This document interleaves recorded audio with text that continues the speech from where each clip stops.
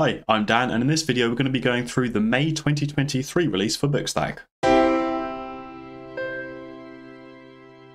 Now before getting into the details, there are quite a few upgrade notices for this release. Specifically, if you've done anything to customize the Markdown editor or code blocks within Bookstack, then a lot of the customization methods that we provided around those areas have now changed quite significantly. So please review the update notes for further information. Also, if you use SAML2 as your login system and you use single logout, then Bookstack now passes through a session index to the logout request, which actually brings us closer to the spec, and I don't foresee this causing any issues but it might be wise just to test the logout process on your system to make sure it doesn't change anything. And lastly, the behavior of page include tags has changed, meaning you could possibly see a little bit more content now, but we'll get onto that a little bit later on in the video. But to kick off the features of this release, we're first going to start within the terminal, because a new thing that I want to show is the Bookstack System command line interface. Now this is a new command line interface to help with admin operations, and it's included within Bookstack itself. So within my installation folder, I can now find a Bookstack system CLI. And if I run this with no arguments, it's going to tell me what it can do. So if I press enter now, and as it displays out here, it's got several commands built in. We can back up a Bookstack instance using the backup command.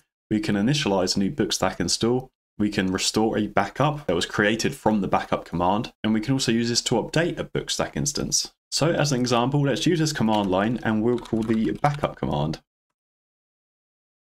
We can see it goes through the process and it's already done it. And it provides us an output zip file. So this zip file will contain, by default, a dump of the Bookstack database, any uploaded files uh, like attachments or images that you've provided the Bookstack when at least using the local storage options, which are the default ones. And it will also contain the env file for your instance, so you have a backup of the config. It will also back up your themes folder, so if you've defined any themes, they'll be within the zip. And lastly, you'll store a copy of the command line interface itself, so if you need to restore it later, you already have a copy of the command line to do the restore operation if needed. And we can see here it's been stored within our Bookstack installation folder, which is this part, slash storage slash backups, and then the Bookstack backup, and then a date timestamp for today. And this storage backups location is a new one that we've added, and that's going to be the default place where your backups are stored when you run this command. But of course, you can customize the locations of where these kind of things are stored. For example, we'd call the backup command and then pass in a second parameter to say, hey, store this with my home directory slash bookstack backup.zip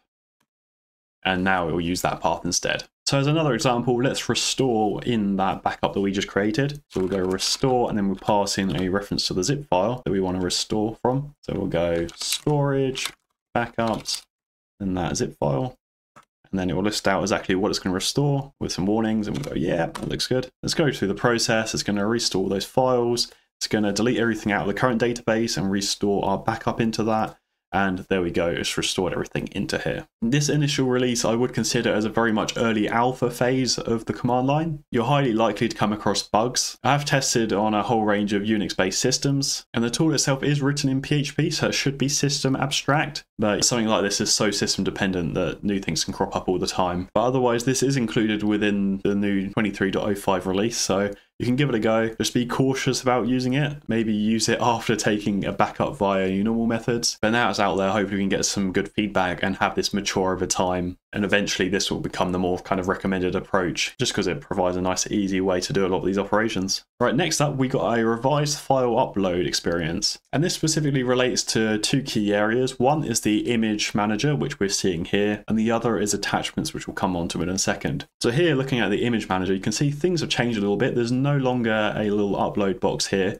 Instead, we have an upload image button, which we can select to then choose an image. Alternatively, as this text suggests here, I can drag in a file, and instead of it just being a singular little box in the corner, you can now pretty much drop into anywhere within this window. So I'll just drop there, and then the upload would start. As you can see here, this one has an error on it. So the little upload progress boxes, such as this one, now display a little bit differently, a bit more Bookstack styled. And I wanted to show an error scenario here because now we provide a bit more information obvious up front. Before you had to kind of hover and then it wasn't easy to see the whole text of the error. Now it's a little bit easier. I can hover over this and then kind of scroll down and see the full text of what's gone on and what's errored in this case. If I do that again just to show a successful scenario, we can see it works nicely like that. Also, since I've been working on the image manager, I've just tidied up a few of the styles a little bit. There was a few double borders, there was some use of background colors that didn't work so well with the icons. They're all little tweaks, but it just neatens things up and makes things a bit more presentable. Right, jumping over to attachments,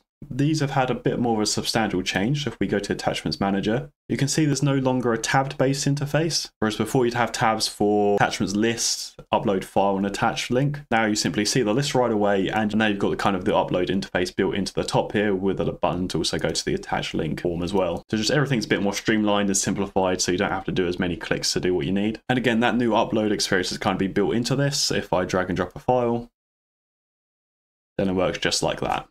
Now on to code blocks. So all code blocks within the system, and this includes like ones in the settings area and the one used for the markdown editor. We use a library called CodeMirror to render these areas and to do the syntax highlighting and things like that. And a lot of work since August of last year has gone into upgrading from an older version of CodeMirror, CodeMirror 5, to the newest version, CodeMirror 6. And this was quite a fundamental revision and a massive change in terms of the code base. But hopefully very little should be different from a user point of view, apart from maybe some slight theme and syntax styling changes, but it should provide us some better mobile support, which may be especially helpful in the Markdown editor, in addition just making sure that we're not using outdated libraries. And on the subject of code, we have a look at this code block here. This is a new language option that we have. So we now have syntax support for Clojure code. In regards to the API, we have another new couple sets of endpoints in this release. So the first of which is the image gallery API endpoints, which we can see here. You have all your typical actions like list, create, read, and update. If we go to the list endpoint, for example, we get a full list of the images that are used in page content. And this covers both standard page content images and also drawings. So this brings kind of granular image control via the API, which wasn't previously possible outside of doing some awkward base64 encoding within content content. Additionally, we have the Content Permissions API, and this allows you to set permissions on pages, books, chapters, and shelves. Basically, anything that you'd usually be able to do within this kind of view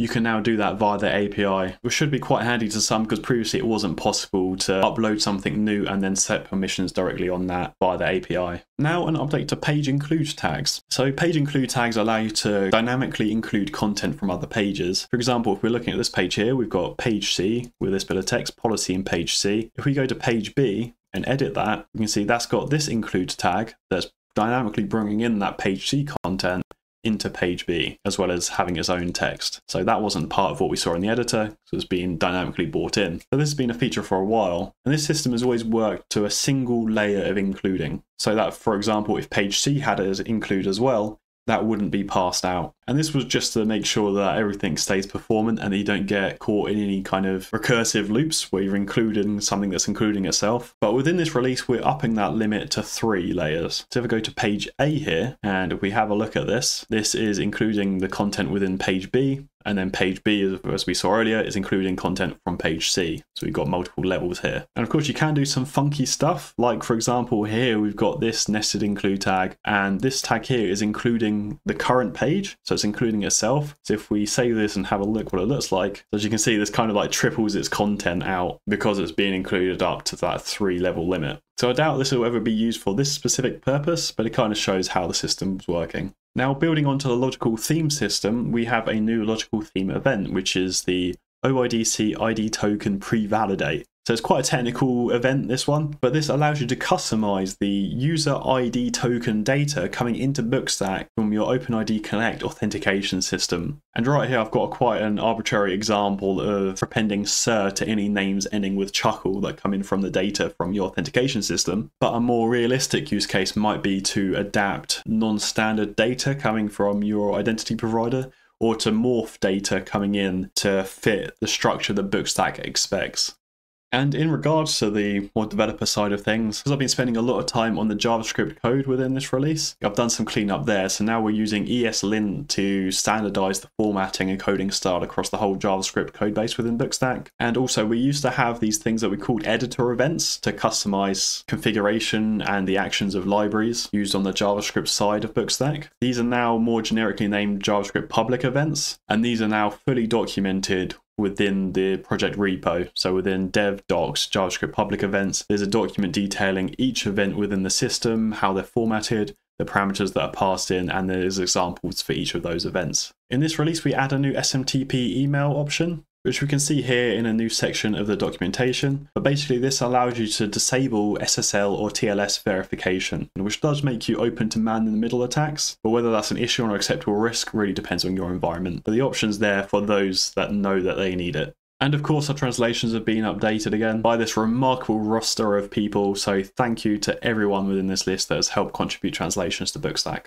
Now, for the next steps, within the last release, I did say about opening up some discussions in terms of some of the larger features. And during the last release cycle, I've been thinking about how we best support like multilingual content. And really, the way that I kind of primarily envisioned supporting that kind of thing would require a lot of fundamental change and complexity added to Bookstack. And if we ever go down that road, I want to be confident that it is the right approach because it's going to add a lot of maintenance debt and it's quite likely to slow things down for development in general of many other things. So before going further, I'd really like to explore exactly what the pain points are currently within Bookstack and what people are lacking in regards to supporting multilingual content. So I've created this post within this issue thread that basically asks a core question to try and get more information from users that need this ability. So I'll put a link to this in the description. If you have an interest in multilingual content, please have a look at my comment there and provide a response. Otherwise, since I've been doing some work around the image manager within Bookstack, I've noticed that that image manager interface is still a little bit old. At least it's not very mobile friendly, and I'm not sure it's accessible either to things like screen readers. So I want to do a bit of an overhaul just to make sure we can bring that up to the standards that we'd expect. Otherwise, I'd like to start diving into comments and notifications because these are big things that people are asking for quite a lot. I mean, notifications is quite a big complex feature, not so much on the core implementation, but as soon as you start thinking about the business rules that people may want in terms of how notifications are organized and the level of user controls that are provided around them. So I'm probably not going to dive too far in this release cycle, but what I'll probably do is have a look at some of the smaller features improvements and additions that we can make around comments. And just getting back into that area of the application, which I haven't touched in quite a while, should just allow me to get familiar. And then during that process, I can have some ideas and then potentially bring things to the community in terms of any questions that might need to be answered to take things up to the next level. And lastly, I just want to mention our project update post that we put out for March. So because there was no release around that time, I made this post instead, just highlighting a lot of the supporting work that's gone on in Bookstack. So this features some of the new hacks, some of the new scripts that we've added, as well as some of the more meta elements that I've done around the project. So yeah, that's the May release for Bookstack. I hope you enjoy the new features and I would very much welcome feedback, especially in terms of the new system command line interface. Otherwise, I wish you a smooth upgrade process and I hope you have a wonderful day.